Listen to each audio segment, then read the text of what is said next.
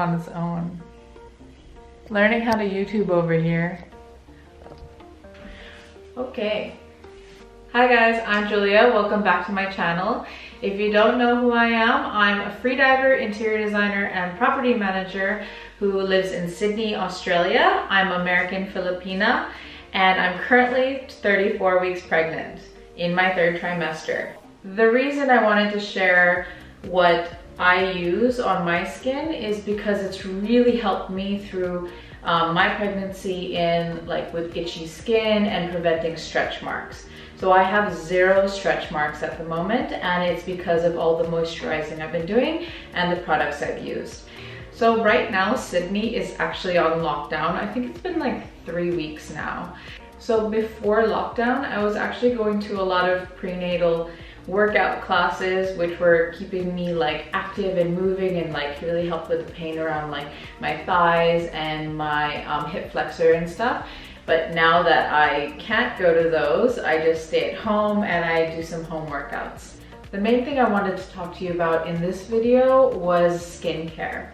When you first get pregnant, you have to research what kind of products are pregnancy safe because there are some ingredients that you can't use on your body. There are three things to avoid in your skincare products during pregnancy, and that's retinoids, salicylic acid, and avoid products that say anti-wrinkles, anti-aging, anti-acne, and lightening. The reason you avoid these items is because there's a potential risk for birth defects and pregnancy risks. So from my research, I found a bunch of items that I like and that worked really well with me throughout my pregnancy. When I first got pregnant, I didn't know anything about pregnancy. I didn't know what to do. So of course, the first thing you do is you contact one of your best friends or your sister or your mother and you say, hey, I'm pregnant, what do I do next? And um, my friend Izzy in the Philippines, um, she has two kids and I went straight to her and I asked her, okay, what do I do? And she's like, get belly butter because it'll help you prevent stretch marks. And I'm like, oh my gosh, I didn't even think about that. So I started researching on the best um, belly butter to put on my belly. And um, from my research and all the reviews that I saw online, the Burt's Bees Mama Belly Butter was the best option. Um, I think the reason was because people were saying it was so smooth and it really keeps your skin moisturized for so long. Um, I have been using this since like week two, since I found out, which is, I really don't think you need to start at week two because you don't actually start growing until like week eight or week 10, depending on who you are. So I started using this on week two on my boobs, my belly, and my thighs because my boobs were actually growing really fast in trimester one. Um, so I thought that helped a lot. And I have zero stretch marks and I'm almost 35 weeks pregnant now. So I shower and immediately I moisturize right after so my skin doesn't get dry at all. And Australia has really dry air compared to the Philippines where I'm from, which has a lot of humidity. I put this all over my boobs and I go up over here and like near the armpits because you never know where your skin like kind of stretches. And then um, around the belly and to the sides and even to the back because your skin is like kind of stretching forward. So you don't know where it's like really pulling. So I like to just lather on as much as I can in the front area the sides and like a little bit of the back and then of course the thighs as well because you don't know where you're really gonna get stretch marks and like I do that every morning and when I feel like my skin's a little more dry at night I'll put on another um, coat um, before I go to bed. Honestly, I'm really lazy and I haven't been doing it twice a day, which they say it's better to do twice a day, but I've been doing it once and it's been working for me. I haven't had any stretch marks yet, so that's uh, good news. After I lather on the belly butter, I put lotion on the rest of my body. So I use the Palmer's Coconut Oil Body Lotion and this one smells so good and it's also quite thick so it's easy to kind of like absorb into your skin. So this one, I put it on my legs and then I put it on my arms and around my neck. I really love this one. I've been using for like two months now and it's my favorite. Ooh, I always get out of breath. In your third trimester, it's like you always have to catch your breath because there's not a lot of space for your lungs.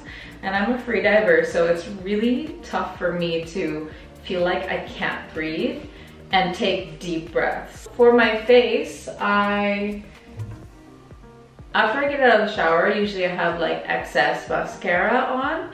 Um, that's probably like ran for the shower. So I use the Pink Garnier um, Micellar Cleansing Water and this one is pregnancy safe as well. And just a cotton pad and rub it all off. And then if you want a toner, I searched for a pregnancy safe toner and the Dickinson's Enhanced Witch Hazel Hydrating Toner. That one's pregnancy safe. Good to use it once or twice a day with cotton pads after you cleanse your face. But honestly, I didn't ever feel the need to use this during my pregnancy. I was using toner before pregnancy. My pores were getting larger and so it was really tightening my pores and it made my face like really glow, but I didn't really need this during pregnancy but it's a good option.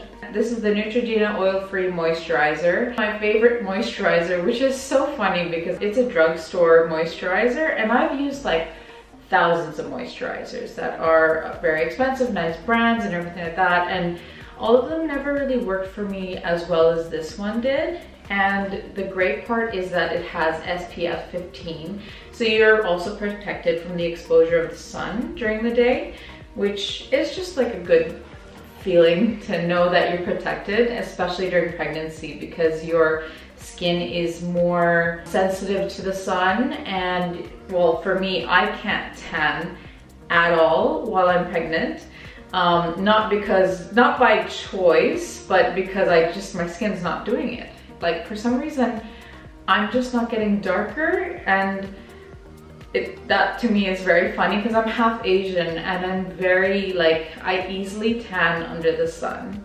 And for my first trimester, it was summer here in Australia and I was laying under the sun in 30 minutes and I was just white as a ghost and my skin would not get darker.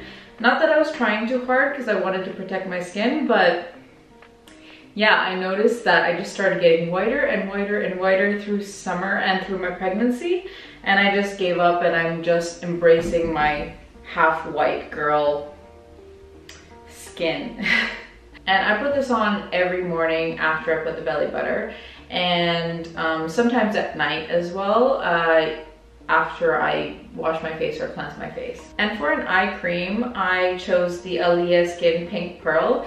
It's a really cute pink bottle. I really love their products and um, yeah, it just uh, makes my, when I feel puffy and like kind of like drained a bit, it really kind of rejuvenates my eyes um, after. I don't use it that often, just on days that I feel like puffy. And then in the shower, what I use on my body, because I don't want to use any like really harsh chemicals or any harsh products, um, during pregnancy. I use the Cetaphil Ultra Gentle Body Wash and this one is great for sensitive and dry skin and I really love it. Like it smells good and it's like very gentle on my skin. And then what I use on my face in the shower is the Cetaphil Gentle Skin Cleanser Face and Body. Cetaphil is an awesome brand because it's so gentle. So I'm gonna even try to use the Cetaphil Baby Body Wash and Shampoo once I give birth because it was one of the recommended brands to use on your baby when you're showering them. And then the last thing is, well, I wasn't really gonna talk about hair, but might as well. I use the Bondi Boost shampoo and conditioner and it's incredible. I've been using it for like two years and it doesn't um, strip your hair from all of its oils. It still feels very fresh after you shower. And yeah, that's all of my skincare products. It's uh, quite simple, it's nothing fancy, and it works very well for me. And I hope it works for you too. Okay, I wanted to show you like an up close view of my skin so you can see it. And I'm not wearing any foundation here. I've only just put like a little eye makeup and lipstick. But if you can see, I have a few like darker freckles here that came with my pregnancy. Um, these got a little darker too and some over there but you can see like it's so smooth it's been doing so well with my skincare and um, I'm very happy with all of the products that I've found. And yeah, just let me know if you do get to try it out, if it works for you or if it doesn't, and good luck. If you're not already subscribed to my channel, please don't forget to subscribe and I'll be talking a lot more about daily life tips and my third trimester pregnancy and probably probably after giving birth as well. Okay, let's say bye. Luna, come here, baby girl. This is my puppy, Luna. She's the sweetest Siberian Husky in the world. I brought her over from the Philippines. My sweet little wolfie. Who's a good girl, hmm? Do you wanna go for a walk? Do you wanna go for a walk?